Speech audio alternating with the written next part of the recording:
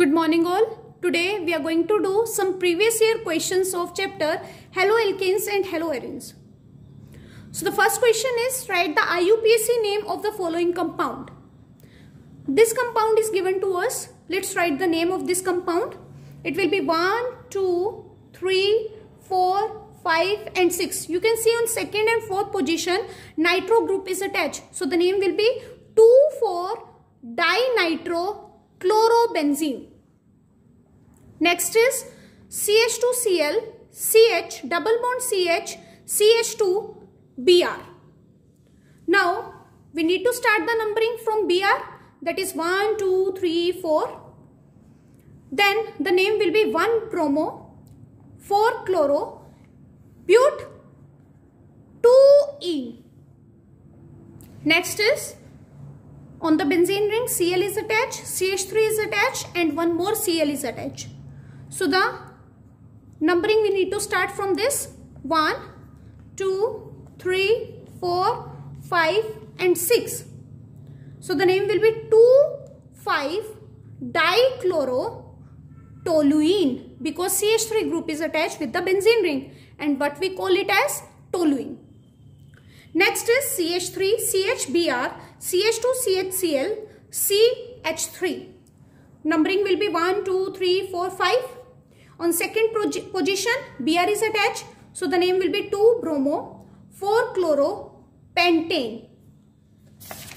Next is CH3C, CH3, CH3, CH, Cl, CH3. Now, in this you can see on second position, Cl is attached and on third position, two methyl groups are attached. So the name will be 2-chloro, 3,3-dimethyl butane. Next is CH3, CH double bond CH, single bond C, CH3, Br, CH3. So the longest chain will be 1, 2, 3, 4, 5. Now in this as you can see on fourth position Br is attached and on the fourth position CH3 is also attached. And on the second position there is a presence of double bond. So the name will be 4-bromo, 4-methyl, pent, 2-ene. I hope you have understood this. Now let's do the second question that is out of these two. Which is the example of benzylic halide? Now as you can see in this, with the benzene ring, CH is directly attached. So this will be the benzylic halide. Next is, which is the example of vinylic halide? Now vinylic is this or this this one will be the example of vinylic because you can see double bond and then halogen is attached.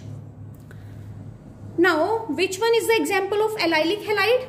This or this? Now, allylic is double single. So, this will be the example of allylic halide. Next is identify the chiral molecule in the following. Chiral means that the group which is attached to the carbon they should be different. So as you can see, if we will see this carbon, then with this carbon, one CH2 is attached, CH3 is attached, one H will going to be attached and one Cl.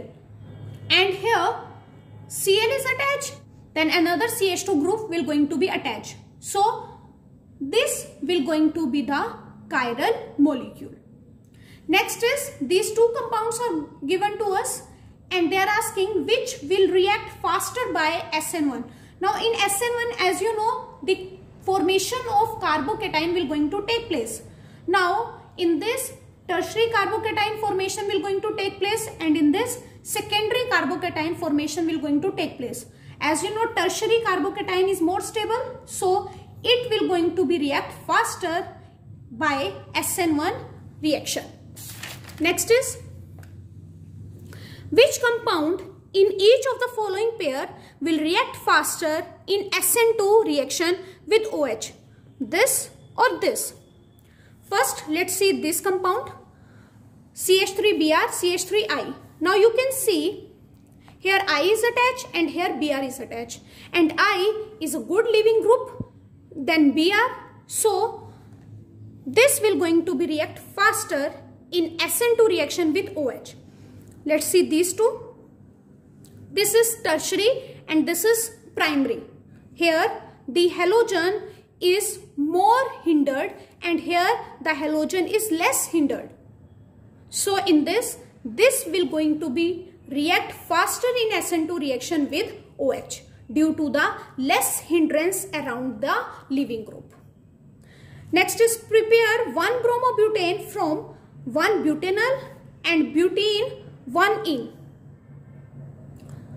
So let's take butanol and we need to prepare 1 bromobutane. So for this react it with HBr in the presence of acid. So H2O will going to come out and Br will going to attach here.